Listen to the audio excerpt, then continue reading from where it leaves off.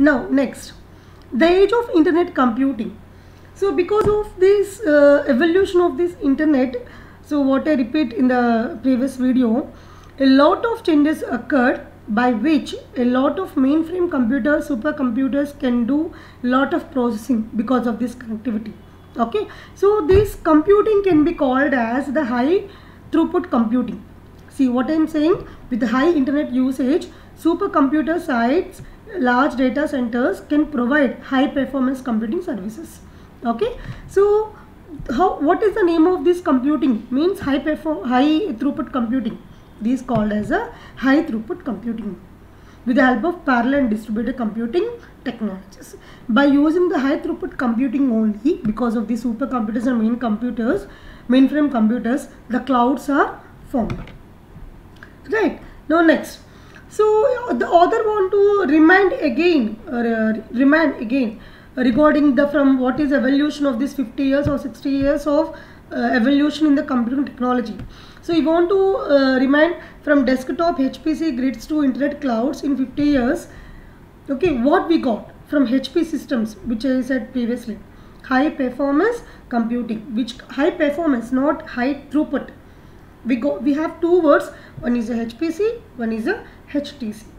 So HPC is a high performance computing in which the centralized supercomputers are using and coming to the HTC which are using the uh, distributed computing right? See if you if you observe here the HPC is using centralized computers geographically distributed desktops disk sites clusters and grids. But what is the drawback of this? Centralized computers. If there is a drawback in this computer automatically no service will get by any user next but what is the advantage of this um, high PC is uh, HPC is lower cost in hardware software data set space and power requirements. Because it is centralized computer only no need to maintain everything no distributed manner right? Next so how the interaction is going to be? As data is evaluating more and more uh, as uh, internet is uh, evaluating more and more as cloud services are cloud services are giving more services based upon requirement. What is the connectivity of this all?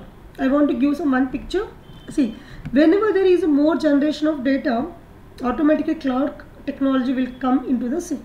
Whenever there is a cloud technology we have some science in which or scientific applications by which we can do lot of magics.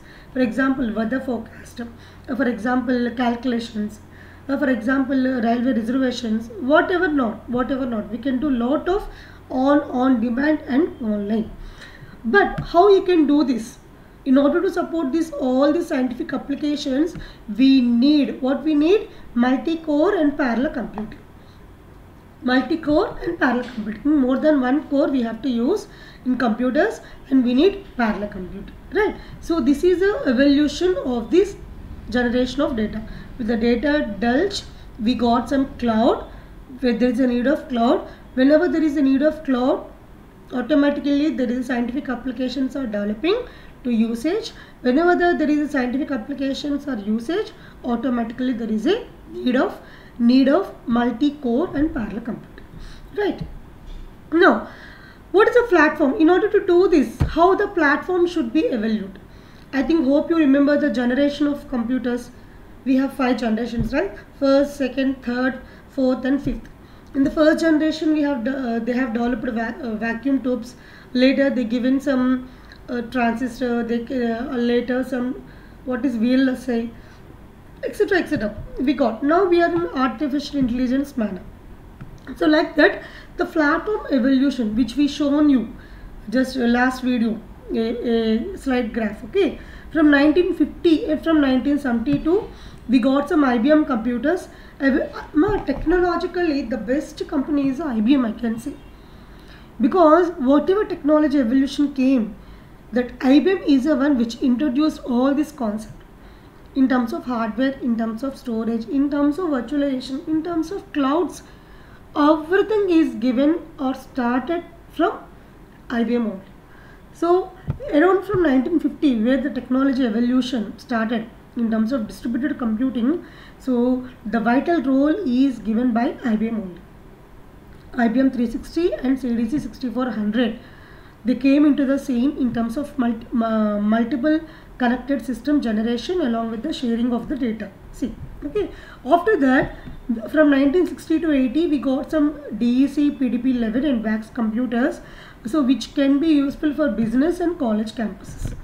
Later from 1970 to 1990 we got some VLSI microprocessor. Okay. So later from 1980 to 2000 we got portable computers very small computers where we can process in our hand. Actually previous days they used to maintain the computers in a single room with large amount of power usage. But after that luckily we got some portable devices. We can carry easily right. Later from since 1990 we got HPC and HTC computers in the HPC centralized distributed is going to use. In the HPC distributed distributed is going to use. Okay we will discuss about this shortly. Next. So this is evolution. Finally next clouds and internet of things. So with the evolution of this hpc and htc uh, this is the came. This is uh, this is the evolution came with the hpc we used to use p2p networks. At the same layer only they can work. Okay? At the same layer only they can htc coming to the hpc they got some clusters. Here if you observe this p2p can be happen. If you know the OSI layer or TCP/IP layer, I think you heard the word P2P networks. Okay, one user is going to communicate with another automatically. The data link layer is going to communicate with the other side data link layer only. They want to share. Actually, the data is going to show it as a layer, but what is happening is they used to come here and they used to do some parallel processing. If it is that is the case, P2P networks in terms of distributed control. But if you observe, it is a centralized control. Okay, so all these are helpful for the node to form the data grids in terms of usage of things. What web services, clouds, internet clouds, and finally using Internet of Things. What is the Internet of Things, ma? Any hardware device can operate even if you are not in that place, right? Right. So uh, I, I given some uh, observations for this. What is HPC? High performance computing. What is HTC? High throughput computing. What is a P2P? P2Peer. What is MPP? Massively parallel processor. So as it is forming a cluster, automatically multiple computers are placing at one place. Okay. So this is a heading for the diagram in which we have some clusters, MPPs that is massively parallel processors, P2P networks, grids, clouds, web services and Internet of Things. So this is nothing but evolution only, evolution only, right? High performance computing. What is HPC? What is HTC? I want to introduce about that. HPC is nothing but the speed of HPC system can increase it from gigaflops to petaflops in 19, uh, 2020 from 1990. Very good. From giga to peta. Very good. Okay. So where they can be useful? scientific, engineering, manufacturing, everywhere they can be useful. It is around 2010, but we are in 2020. HPC is, is not sufficient for us. So what we have to do? We have to make a move to the HTC. So what is the HTC is going to do? It is going to rule the market. Utility computing, we have to pay and use market. Okay. Now, how this is going to do? By using high flux computing. What is high flux computing? using multi-core computers. What? What? Using multi-core computers. Next, how they are going to do in terms of internet facility along with the multi-core searches and web services. Right? So that is about the HPC and HTC. Later, okay, it is normal. With the help of the HTC, what is the advantage? The cost, energy, savings, security, reliability, everything are available with the help of HTC and by batch processing. Right uh? so three new paradigms. Along with all the evolution we got three new paradigms which can be helpful to communicate to store to process at anywhere of the world. What are those? First is a service oriented architecture i will explain very shortly about this. Next one is a virtualization and finally is the internet of things. How the internet of things can be helpful? Because of rfid and global positioning system. RFID is radio frequency identification. And what is the GPS is? Global positioning system. Okay. Next computing paradigm distinction. How this computing or can be show the difference between one evolution to second evolution or third in terms of centralized computing in terms of parallel computing in terms of distributed computing and in terms of cloud computing. Hope you remember all this word what are those? Centralized computing parallel computing distributed computing and cloud computing. What is centralized computing ma? Centralized computing means only one physical system is there. They are going to tightly couple the processor memory. Nobody can share large amount of data all systems are packed up.